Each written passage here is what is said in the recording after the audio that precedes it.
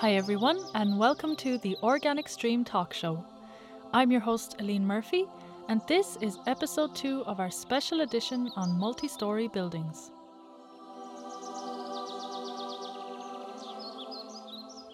Multi story buildings are often considered the final frontier of organics recycling, and it's easy to see why. Densely populated with little space, there are a number of challenges to tackle when setting up a program. In episode 1, we explored some of these challenges and the factors that will impact your program.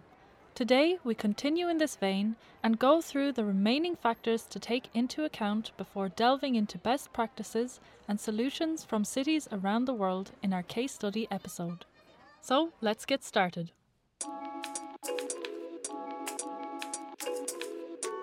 We really make an effort to reach a diversity of folks that then clicked in their heads of why it was important for them to separate their food scraps. They just thought, I'll just pay my monthly subscription and I'm not going to deal with the program. It's a challenge. 8 million people who are all very different. And so it's always a challenge to try and reach everybody.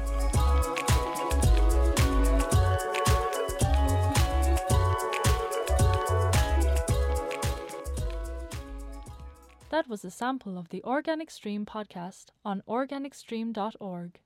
To listen to the full episode for free on our website, click on the link in the description below.